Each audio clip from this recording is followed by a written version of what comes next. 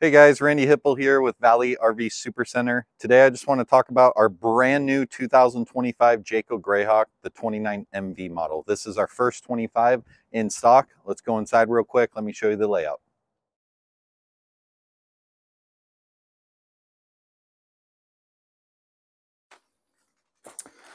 So walking in here, guys, again, this is our 29 MV layout. This is the number one selling Greyhawk since at least 2014. That's the year I started, and we've been selling more of these than any other layout.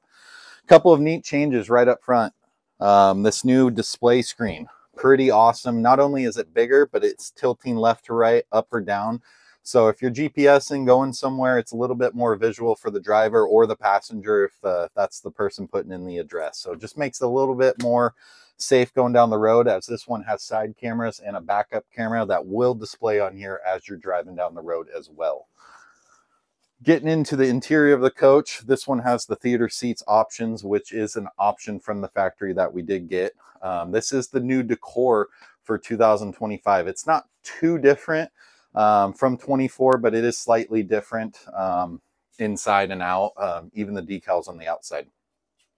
One slight change right here, they actually dropped this cabinet to be like about double the size, so it is bigger, um, just allowing more storage. Then you got a different and bigger microwave as well. This one's going to have your um, single fridge. You can get a double door fridge as an option as well on this model.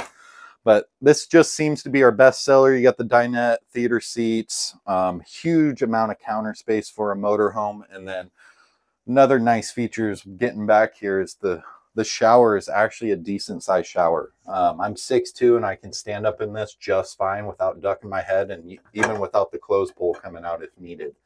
And then this is going to block off any privacy. The bathroom door, this little magnet up top here is going to clip right here. So you just shut it and you actually have your private bathroom with your bedroom still open. But you can close off the bedroom as well right here if needed. But full walk around queen back here tons and tons of storage.